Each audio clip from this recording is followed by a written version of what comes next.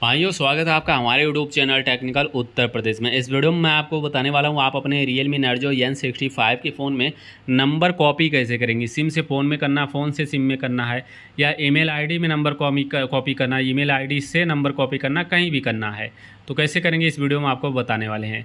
तो सबसे पहले कॉन्टैक्ट नाम से एक ऐप होगा आपके फ़ोन में, देख लीजिए, यही ऐप होगा कॉन्टैक्ट नाम से। आप इसको ओपन कर लीजिए कॉन्टैक्ट ऐप को जैसे ओपन करते हैं तो राइट साइड सबसे नीचे फिक्स एंड मैनेज मैनेज नाम से ऑप्शन मिलेगा, इस पर क्लिक करिए।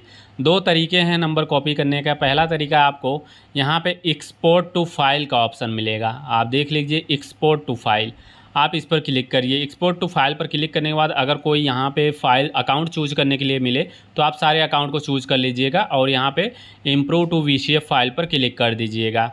इसके बाद आप इसको सेव कर दीजिएगा।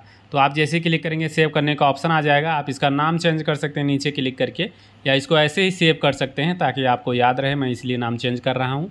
आप सेव कर दीजिए। अब इसके बाद आप लोगों को इम्पोर्ट फ्राम फ़ाइल पे क्लिक करना, जो राइट साइड ऊपर की तरफ़ है। एक्सपोर्ट हो गया। अब आपको इम्पोर्ट फ्राम फ़ाइल पे क्लिक करना है।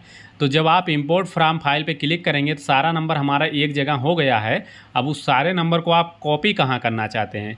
ईमेल आईडी में करना है। मैं आपको सजेस्ट करूँगा, ईमेल आईडी में करिए। जहाँ पे भी सेव करना है, सारा नंबर कॉपी करना है, वो अकाउंट आप चूज़ करिए। जैसे उस पर क्लिक करेंगे, जो फ़ाइल आपने सेव की थी वो आ जाएगी, आप उस पर क्लिक कर देंगे।